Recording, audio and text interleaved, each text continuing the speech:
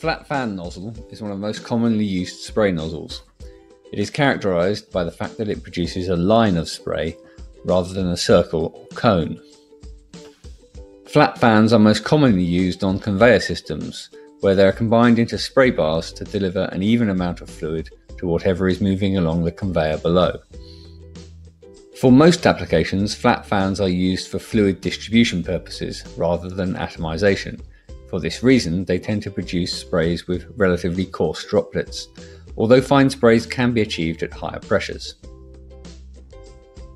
One variant of the standard fan nozzle is the deflector nozzle. This uses a deflector plate to direct the spray into a hard hitting narrow fan that is useful for cleaning and other applications that require impact.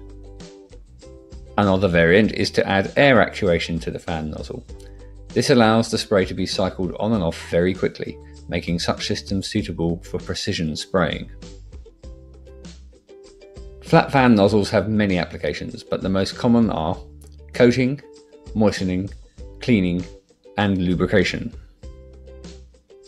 The spray nozzle people have a wide range of flat fan nozzles and decades of experience in specifying spray nozzles for all industries. Call us today to discuss your applications.